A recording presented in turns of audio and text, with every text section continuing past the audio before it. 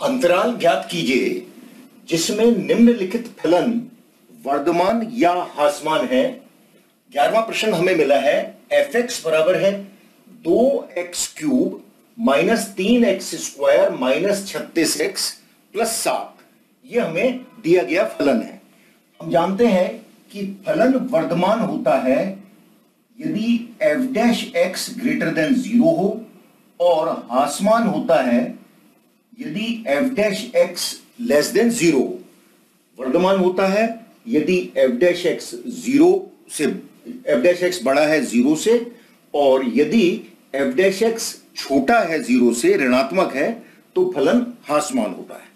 तो हमें सबसे पहले एफ़ डैश एक्स निकालना चाहिए। एफ़ डैश एक्स क्या हो जाएगा? एक्स के सापेक्ष अवकलन किया छ एक्स स्क्वायर माइनस छ एक्स माइनस छत्तीस। छ हम कॉमन ले सकते हैं।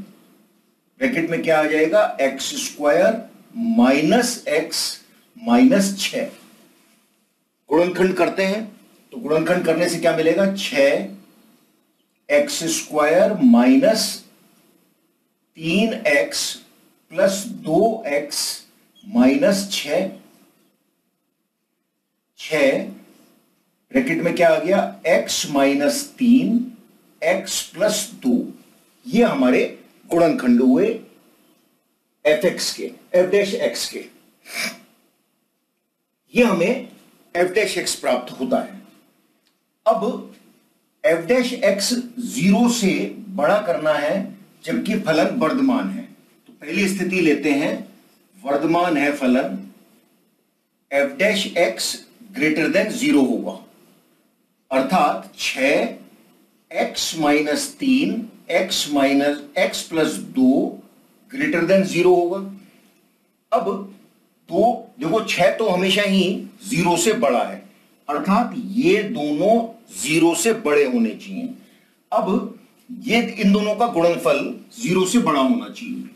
देखो, या तो दोनों पॉजिटिव हो, तब ये धनात्मक होगा, और या दोनों नेगेटिव हो तो ये ग्रेटर देन ज़ीरो होगा।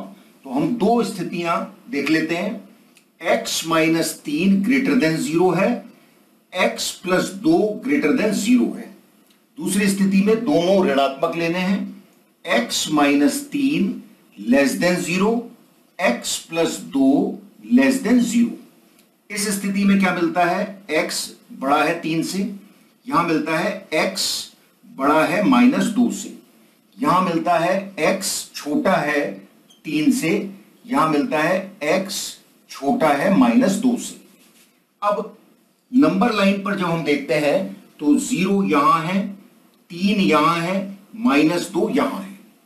x बड़ा है तीन से, इस ओर है। x बड़ा है माइनस दो से, इस ओर है। तो अभिप्राय क्या हुआ? x तीन से बड़ा है। x तीन से बड़ा कहाँ तक है? अनंत तक है प्लस इंफिनिटी तक है। तो अंतराल क्या हो जाएगा? तीन कोमा इंफिनिटी इस स्थिति को देखें। यहाँ नंबर लाइन पर देखेंगे तो ज़ीरो यहाँ, तीन यहाँ माइनस दो यहाँ। एक्स छोटा है तीन से। एक्स लेस देन तीन है तो यहाँ है, इस ओर है। माइनस दो से छोटा है तो इस ओर है। अर्थात एक्स माइनस दो से छोटा है। कहाँ तक है? माइनस अनंत तक है। तो ये हो गया माइनस अनंत से माइनस दो। तो अंतराल क्या हो गया?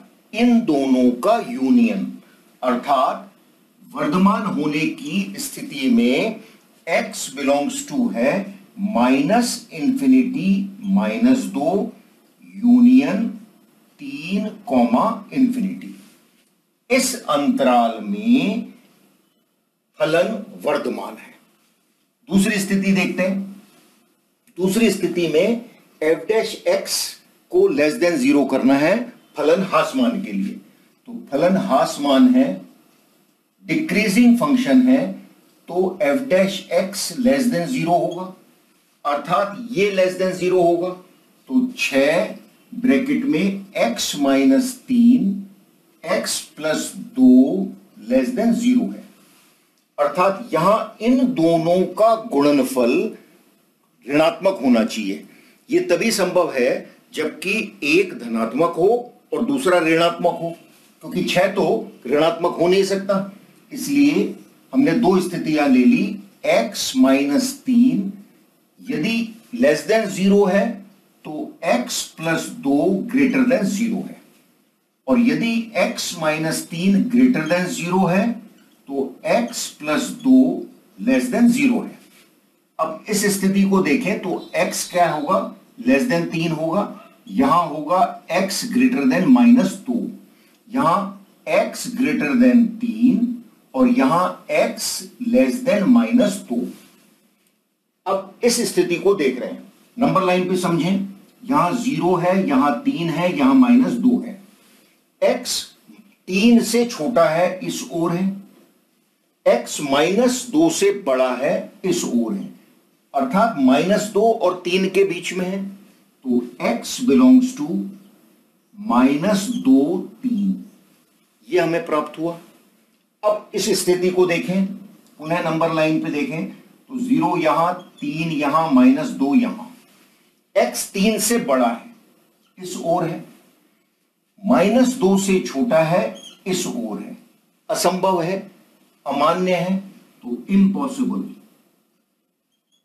ये हमने रिजेक्ट कर दिया। तो आसमान की स्थिति में अंतराल क्या होगा? X बिलोंग्स टू माइनस दो, तीन।